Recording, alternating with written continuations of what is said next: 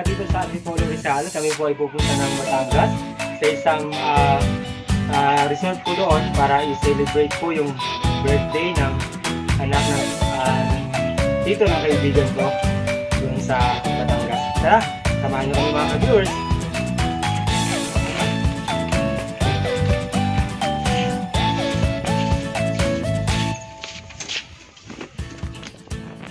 ngayon ang ginagawa namin is nag-prepare kami ng mga gamit para yung mga gamit na gagamitin namin doon sa isang resort sa Batangas. So medyo uh, gahul na kami sa oras kaya nagmamadali kami.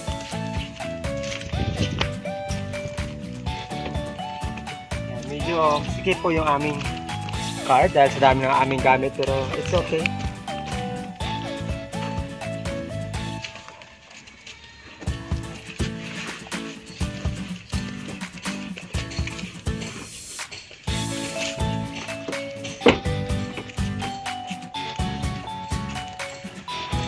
See you mga ka-viewers.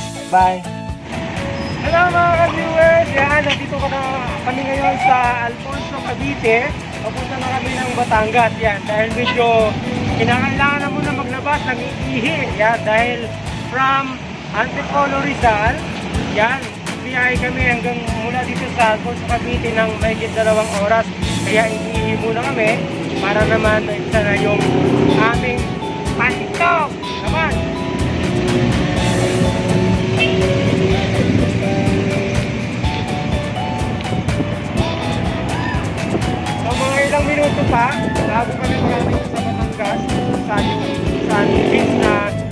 Pupuntahan namin. It was at this moment that he knew.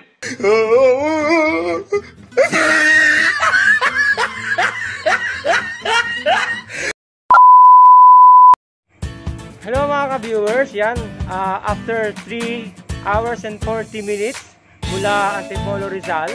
Yan, nandito na kami ngayon sa sa Canyon Cove dito sa resort sa Batangas kung saan uh, aming celebrate yung birthday. Yan, ng anak ni Kuya Dennis. Ayan. mga ka-viewers, samahan niyo ako. Doon kami sa third floor. Yan, room 202 ah, 202 right? 202 yung aming pupuntahan. Yan. So, yung aming pong unit ay nasa third floor pa. A few moments later. Ayan, nandito na tayo sa row, room 302. Yan, ako mga ka-viewers, pasugin natin yung kanilang. Uh -huh. Hello, Tita Ayen. It was at this moment that he knew. Kumusta pong biyahe? nga eh. So yan mga ka-viewers ha, si Tita Ayan, siyempre yung kanyang anak, bukas, bukas mo ba? Okay, magbe-birthday to si... Yan. So mga ka-viewers, ito yung kanilang uh, hotel dito sa Canyon Cove. Yan. Ito yung kanilang master bed. Siyempre, meron din silang mga sala-sala dito. Ito yung kanilang spa. Yan. Siyempre, meron din silang family amphitheater dito.